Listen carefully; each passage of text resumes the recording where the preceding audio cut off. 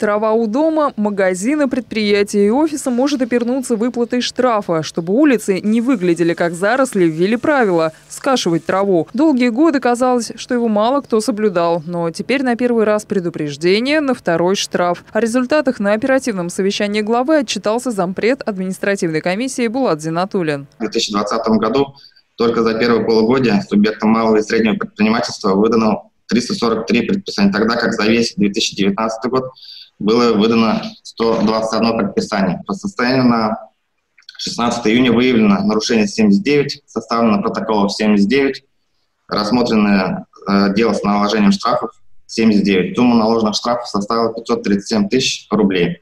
Более полумиллиона на одних только штрафах за нескошенную траву. Сумма внушает. Поплатиться можно и за объявления, расклеенные на фасадах, остановках, то есть где угодно, кроме разрешенных мест. В 2020 году работа комиссии по данной статье была организована с учетом принятого порядка э, подключения системы «Автодозвон». За 2020 год путем использования системы «Автодозвон» по статье 6.7 по АПРБ было выявлено и привлечено к ответственности 73 нарушителя.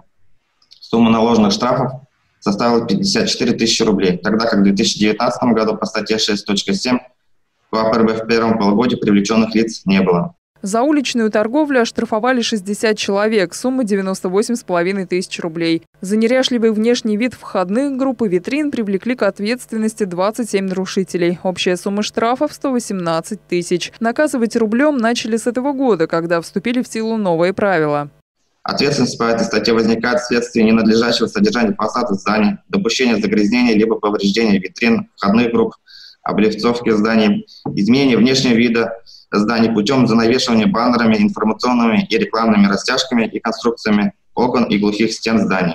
А вот, пожалуй, самая болезненная тема – парковка автомобилей на газонах. Для ясности скажем, что не оштрафуют, когда машина стоит на твердом покрытии. Например, участок отсыпан щебнем или похожим материалом. Но иногда вроде и не на траве паркуют, а получают вот такое уведомление явиться в администрацию. 115 водителей оштрафовали на сумму 112,5 тысяч рублей. Но можно ли считать газоном голую землю безо всякой растительности? Вот что больше всего возмущает людей.